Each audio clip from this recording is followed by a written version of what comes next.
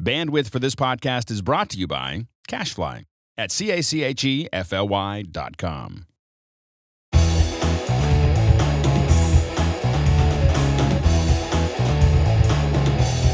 Back at Pixel Corps Studios for another exciting episode of Mac Break Studio.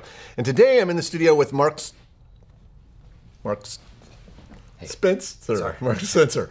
Um, as you Traffic can see, we're was terrible. traffic. Yeah. Did, would- did Air Force One keep you your plane from landing? Yeah, yeah, that and, and squirrels on 101. Yeah, You live in foresty area and I do. deers Lots of and deer. stuff. Lots That's of deer. true, lots of deer. Anyways, you can see we're working on our intro. So, Mark is going to show us Act Three of Multicam, and we're going to learn about what, like fixing what went wrong, how to add effects, that sort of thing. Well, we're not going to go quite that deep. There's there's so much you can do with multicam, and this three part series is really pretty high level. But Uh-huh. we did how to create a multicam clip two two things ago, and the last one last week we did um, how to edit it. And I want to say, well, once you've edited it, it's usually not perfect. So Sure. what's what are a few things you can do to fix it, and how can you do them fast, and kind of focus on that. So we have here in Final Cut Pro our edited multicam clip Mm-hmm. in a project, and I can just kind of scrub through it. It's this music video with um, four let's see, five cameras, a visual effects, and an audio track. And we've cut between them, and I, I did a pretty quick and loose and sloppy job. But a couple things that you can do that are that are so easy. So for example, let's say I go to this shot here, and I've got you can see I'm just I'm skimming right now. I'm not clicking on anything, and I see that shot of the drummer, and it's kind of getting out of focus. Like you know what? It'd be a lot better now if I were if I were on a different angle. I don't want to be on this angle.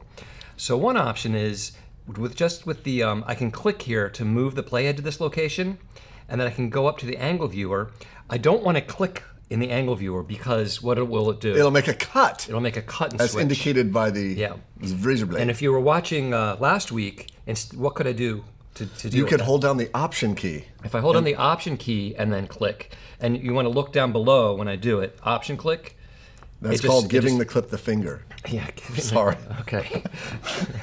oh, it goes from a blade it to just- a finger. Yeah, just switch that angle, and that's kind of neat. But you, that's great. You can go and do Uh-huh. that. The thing is, you have to go sort of. Oh, I need to place the playhead there, and then I need to go up to the angle I want to go to, uh, and then hold down. It's already on that angle. So let's say I want to go to this angle. Option click, and go to that angle. Okay, that's fine. But there's a much faster way. Once you know your angles, like One, two, three, four, this- five, six? one, two, three, four, five. Yeah, so I've got one, two, three, four, and actually I should have organized these in the, in the angle editor to move the drummer above these two because I really want one, two, three, four, or five, or uh, seven, right? Right, but let, us a clarification point. Yes. If you decide to go back and reorganize them in the angle editor, you have to go back to the original clip in the browser, which then wouldn't it wouldn't have any relationship to the multi-clip that's in the project. Well, let's go ahead and do it because I want to use keyboard shortcuts to do Okay. this, and I want to use one, two, three, four. I'm never going to switch that. I might switch that. So I really want this drummer to be up higher, so I'm going to double click on the multicam clip in the event browser to open it up in the angle editor. Got it.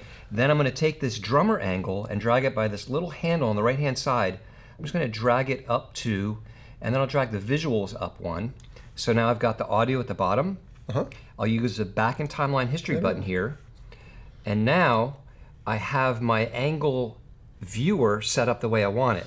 Ah, that's Okay. really really nice. So now I can just use one, One, two, two, three, four, five. five. Hmm. So instead of going up there to click every time, check this out. Um, if I'm on a clip, let me. I'm going to hit Command Plus so we can just see more of each frame. Let's say I want this to be a different angle. I don't want to hit like the number um, one because it'll do a cut, Cut, right? right. So, Option but what I can do is Option one. ah, Okay, and just based uh, that's already on that option three. There, it'll switch to that, or it'll. it'll so in other that. words, it it maintains the same interface conventions whether you're clicking in the angle viewer Yes, yes. or whether you're down in the actual angle editor. The conventions are the same, which makes it. And the reason this is so much faster is number one, you don't need to move the playhead. You can just skim. So I'm not clicking on anything. I'm skimming to a shot, And then and I'm hitting option option two, for instance, or option one, uh, and option four. I can go to each of those That's different angles way faster. by skimming. That's way right? better. The only thing I might consider is remapping the keyboard so I don't have to hold the option key down. Because option, I don't want to do a cut, and I'd rather just hit one, two, three, four at this point. Do you know what I mean? Yeah, but if you if you did that, then when you're actually doing a cut, It might screw me up. You kind of want to, Yeah. you want one or the other. Okay. Yeah, but you could switch back and forth. But to be able to just skim and switch angles, but is tapping, you know, option two. It's to me, is oh, It's, fantastic. it's huge. It's really Now, great. here's one other really good tip. Let's say there's several angles that you want to change to the same angle at once. So I'm going to zoom back out here. I'm going to say I want, I'm going to click, just regular click on that angle, and then I'm going to click on this one. Uh-huh. you command and I'm clicking? I'm command clicking to make a non non-contiguous, Non-contiguous, selection. yeah. I want all of those angles to be, say, our main angle. Okay. Um, actually, before I do that, I'm sorry. Let me back up. Another option, although it's slower, is uh, you can right click on an angle and, sorry, it's, you can't quite see the whole drop down menu here. Do, do, do, do, do, do, do. Let's get, get it on here.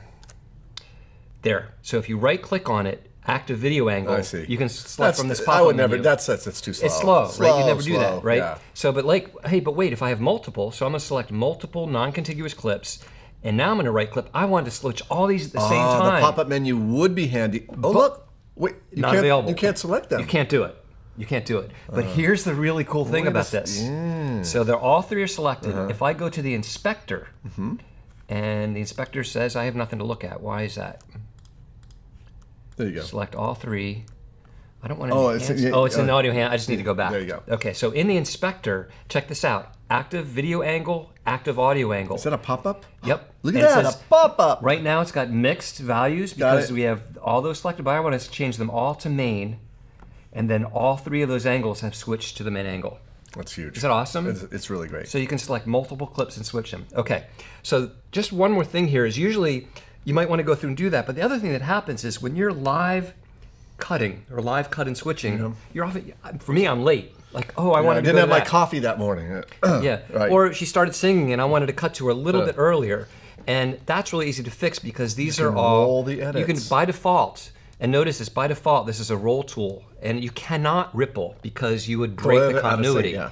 So you can drag this, or what I prefer to do with the edit selected, just move to where you really want it. You know, you can look at the waveform, or based on when she starts singing, um, you can just hit uh, Shift X. Shift and X will will move the playhead to wherever. and you could probably use want it to the uh, the uh, bracket keys or the comma period keys to nudge it right or left too. Yes, yes. So you can do that very easily. You can even double click on a uh, an edit point and open up the precision editor.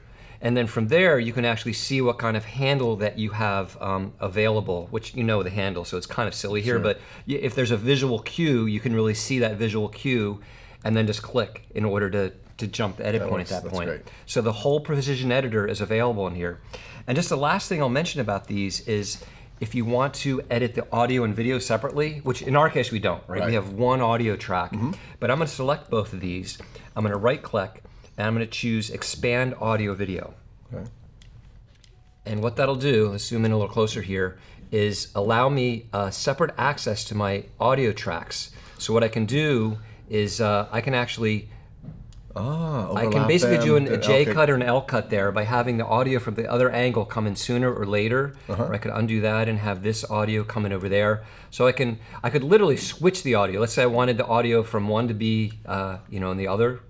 I Now, now shift it over remember like you that. had a you had a bass track selected before. Remember you had the, the the production. So that's the audio from that particular camera. Is that what you're Yes, saying? yeah. This is one particular angle, but the cool thing is, if if you had, frequently these will be separate audio Right. angles, and it's very easy to sort of J and L cut between them.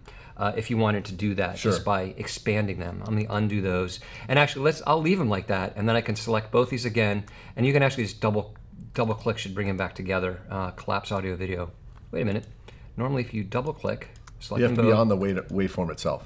Oh, There thank go. you to get him Yeah. the far. I have a good Final Thank Cut you. tutorial that no, That goes over that. Yeah, yeah. I should I should look at that again. It's been too long. So um, those are a couple things you can do. Basically, you've got all your normal trimming tools that you're used to doing Right. right in the multicam clip, and in combination with using keyboard shortcuts and skimming, it's just fast, Right. fast. you don't have to have fast. that. See, the great thing is you don't have the pressure of getting it right the, f- first first time. time, you can go back and just uh, Clean it up, and you can clean it up fast. Yeah. Excellent. So Mark has an excellent tra- training at Ripple Training called um, Multicamera Editing in Final Cut Pro 10. right. Really good. Comes with media. Comes with the ebook. I suggest you check it out. And uh, it's well, I think it's the best one out there, but I'm you know biased. So anyway, uh, Mark, thanks for showing this awesome stuff, and uh, we thank you for watching Mac Break Studio, and we'll see you next time.